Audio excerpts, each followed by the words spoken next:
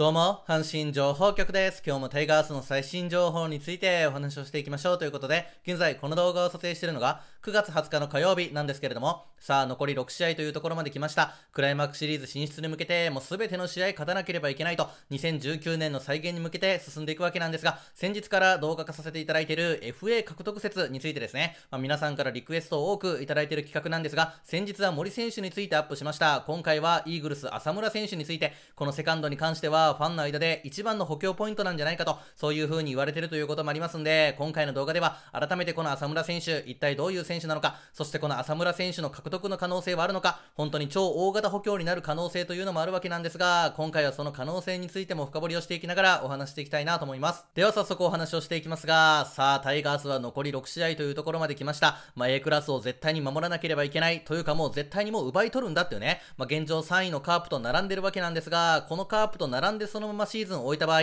今シーズンタイガースはカープに負け越してますから、そのままカープが行ってしまうと、そういう流れになるんです。で、矢野監督は残り6試合、もう最終コーナーというところですが、コメントで大混戦になってるんで、最後の最後までわからないと思う。やるしかない。前を向いて、しょんぼりしてもしゃあない。残りの試合全部勝つつもりということで、いや、本当にもう下を向いててもしょうがないですからね。残り6試合も前を向きながら戦っていくしかない。現状タイガースは借金を4つ抱えていますが、もし残りの試合全部勝つ、6連勝という形になれば、貯金2でフィニッシュできますからね。優勝は逃しましたが、下克上日本一へ、これが新たな目標になるわけなんですが、今回の動画は先日から動画化させていただいている、まあ、FA 選手の動向についてですね、皆さんからもこの選手の獲得どう思いますか？動くと思いますかと、そういうコメントも多数いただいておりますが、今回はイーグルス浅村選手について、もう言わずもがな日本を代表するスラッガーではありますが、この浅村選手がもし FA 権行使するという形になって、FA 市場に出回るという形になれば、タイガースが動く可能性はありそうなのか、こういった点について深掘り解説していきます。ではまずこの浅村選手は一体どういう選手なのか、ここから見ていきますけれども、もう皆さんご存知の通り、日本を代表するスラッガーですよね。ライオンズに入団して、若くしてレギュラーを張って、まずは2013年にブレイク、全試合に出て、打率3割1分7厘、ホームラン27本、打点が110打点ということで、ここで自身初となるタイトル、打点を取ります。で、そこからもずっと試合に出続けて、まず体が強いのが特徴。そして2018年ですよね、ここで浅村選手が一気に数字を伸ばすと言いますか、自分の価値を大きく上げる成績、それが打率3割、30本、100打点、これですよね。この年の浅村選手の得点圏打率3割6分9厘ありましたからね、まあ、これだけチャンスで打てるとね、それは打点稼げるわと、そういう数字になってますが、この2018年のオフ、浅村選手は FA 権行使してイーグルスで移ると、そういう決断をします。4年総額20億円もかなり大型の契約になったわけなんですけれども、このイーグルスでも活躍し続けると、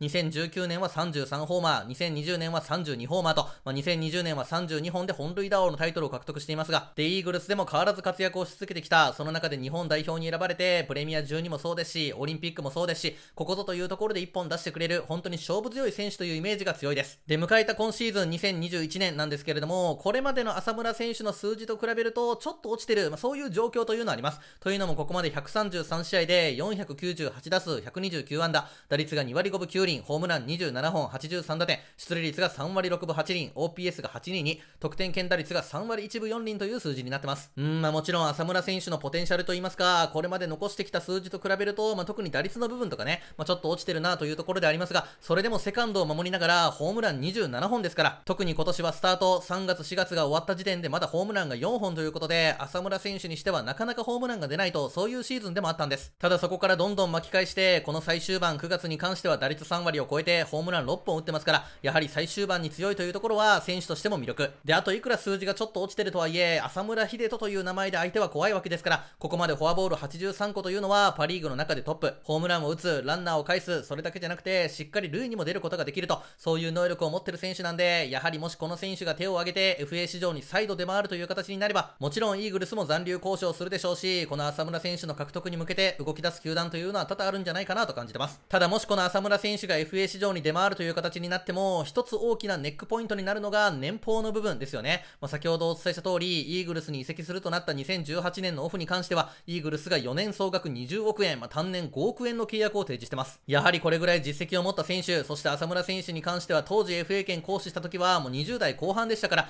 高卒で若くして活躍してる選手は早めにね、FA 権取って、まあ、FA 移籍というのも早くなるわけで、まあ、タイガースで言うと西勇輝投手もそうです。今年西投手はこの浅村選手と同じく2回目の FA 権を取って、さあこのオフどうなるのかと、そういう立場にあるわけなんですが、この浅村選手も一体どうなっていくのか。ここまでバッティングのところをメインにお話をしてきましたが、浅村選手は過去ゴールデングラブを2回取ってます。ファーストで2013年、そしてセカンドでは2019年。20代前半の時と比べても見劣りしないと言いますか、もう機敏に動きまくれるかと言われると、まあ、正直そこまではね、達してない部分があるとは思うんですが、やはりタイガースの中で打力を求めたいということになれば、このセカンドのポジションで浅村選手というのはかなり大きなポイントになります。まあ、浅村選手も去年の年末、お子さんが生まれたばかりですから、そういったところをどう考えていくのか、この点も注目したいところです。さあ、で、ここからもし浅村選手が FA 権を行使するということになれば、タイガースが動く可能性があるのか、この点について見ていきますが、もう現在ファンの時点で、セカンドに関しては、今オフ最大の補強ポイントだと、そういうコメントも多数出ています。というのも今年のオフに関しては、この浅村選手もはじめ、ライオンズの外崎選手であったり、マリーンズの中村選手であったり、それぞれの球団でセカンドのレギュラーとして張ってきた選手が FA 市場に出回る可能性がある、そういう年なんですね。で、今シーズンのタイガースのセカンド事情というのを見ていくと、まあ、昨日の動画でもお伝えしたばかりなんですが、これまで以上に流動的になってる、そういう状況があります。というのもセカンドで今年、ここまで一番試合に出てるのが、糸原選手の63試合、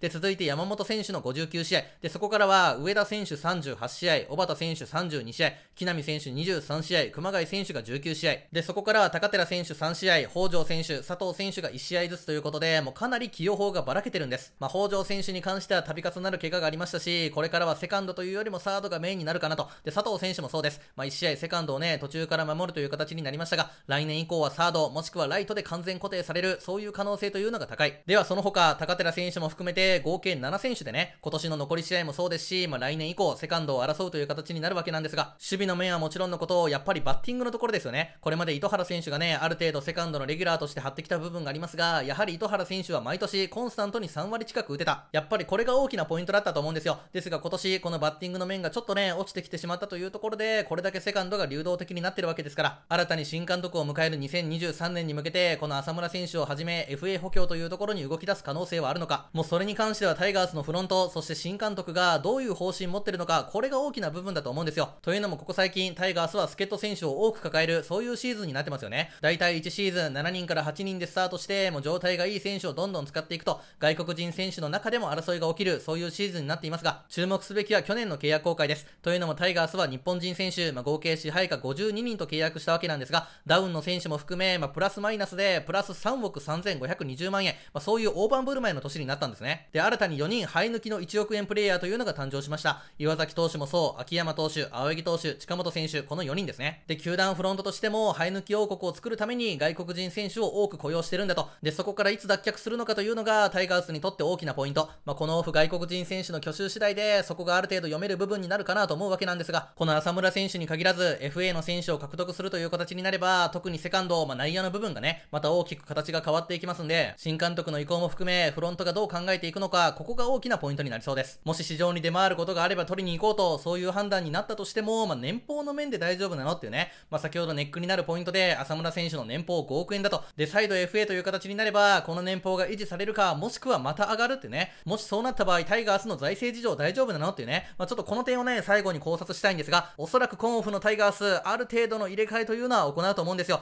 というのもね、一番年俸高いロハス選手に関しては、もし残留という形になっても大減俸がメインでしょうし、次に年俸が高いアルカンタラ投手に関しては、この時期2軍にいますから、今年の契約どうなのか、そしてもうシーズン途中に2億円超えてるチェン投手を放出してる。で、マルテ選手やガンケル投手もね、減俸という可能性が考えられるわけで、そうなってくると、もうタイガースの一番のメイン作業というのは、西投手、岩崎投手、岩貞投手、この3投手がね、今年のオフ FA という形になりますから、まずこの3選手たちに最大誠意を見せていくと、これが一番重要な鍵になります。まあ、あとは先発で言うと青柳投手であったり、中継ぎなら浜地投手や岩佐投手、こういった選手たちはバンと年俸が上がるでしょう。で、野手なら大山選手、まあ、佐藤選手、中野選手ね、こういったあたりの選手たちもまたガンと上がる可能性というのがありますが、この外国人選手をどのように運用していくか次第で、かなり財政事情というのは変わってくると思うんですね。ですので、現状タイガースにいる選手たちの中で、プラスマイナス相殺されて、あとはこの FA 補強であったり、新たな補強に動き出す、そういうことが考えられるわけです。まあ、去年の契約公開見ていても、ある程度の大盤振る舞いはできるんじゃないかなと、そう考えることもできるんで、新たにこの FA 補強に動き出す可能性というのはあるのか、この点も今後ね、注目しながら見ていきたいなと思います。はい、ということで、今回の動画では、今オフ注目株、浅村選手は一体どういう選手なのか、そしてもし FA 市場に出回るという形になれば、タイガースが動き出す可能性はあるのか、こういった点について深掘りしていきました。やはりこのセカンドというポジションが今後重要になってくる、そして一番流動的になっているポジションですから、生え抜き選手たちで争っていくのか、それとも新たな血を入れるのか、ここは本当にね、注目ポイントになりそうです。よかったら皆さんのご意見というのもお聞かせいただけると嬉しいです。ということで以上、今回の動画が皆さんの参考になれば非常に嬉しいです。この動画が面白かった、ためになったと思っていただけた方は、よかったらチャンネル登録、グッドボタンを押していただけると嬉しいです。皆さんのおかげで、この阪信情報局チャンネル登録者3万3600人突破いつもありがとうございます。皆さんのご視聴コメント高評価チャンネル登録が励みになってます。次は目指せチャンネル登録者3万4000人ということで今後とも阪神情報局何卒よろしくお願いいたします。ではまた次の動画でお会いいたしましょう。毎日トラホーありがとうございました。さあこの注目すべきセカンドというポジション新たな血を入れる可能性はあるのか浅村選手の動向どうなっていくのかこの点も引き続き注目してみていきましょう。ではまた。